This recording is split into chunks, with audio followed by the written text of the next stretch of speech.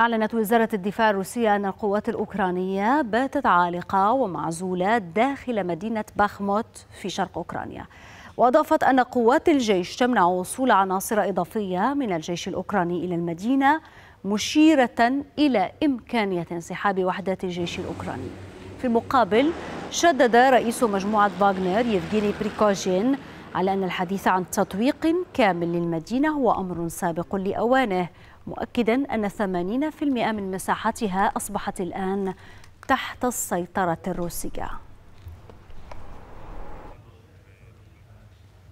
لمزيد من المتابعة ينضم إلي من كييف مراسلنا عامر العروقي عامر. إذن وسط هذه الأحاديث عن ما يحدث حاليا آه، في باخموت ووضع القوات الأوكرانية هناك لدينا فاغنر تقول من السابق لألوان الحديث عن تطويق كامل أو محاصرة لكن وزارة الدفاع الروسية تشير إلى أن العناصر الأوكرانية باتت محاصرة داخل المدينة هل من تعقيب أوكراني على هذه التطورات؟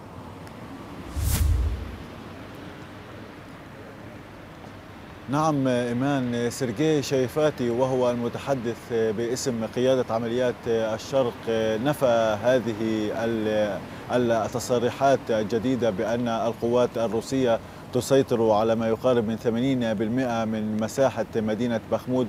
وقال أن الجيش الأوكراني ما زال يحتفظ بما يقارب من أكثر من 20% من هذه المنطقة وأنه صد جميع الهجمات على السيطرة على وسط المدينة. وقال خلال هذا اليوم تمكن الجيش الأوكراني من صد ما يقارب من 45 هجمة قامت بها القوات الروسية لمحاولة من السيطرة بشكل كامل على مدينة بخمود لكن شدد على أن المدافعين الأوكرانيين ما زالوا يدافعون عن المدينة. كذلك أيضا بيانات هيئة الأركان العامة للقوات الأوكرانية قالت بأن الجيش الروسي شن هجمات على كل من شاختار وأفديفكا وأيضا ليمان وكل الأنظار الآن تتجه نحو مدينة أفديفكا خاصة وأنها ربما تواجه نفس المصير التي تواجهه مدينة باخمود لكن الجيش الأوكراني إلى حد هذه اللحظة يصف مدينة باخمود بأنها بؤرة الصراع لكنه نعم. يقول بأن أن القوات ما زالت متمسكة بمواقعها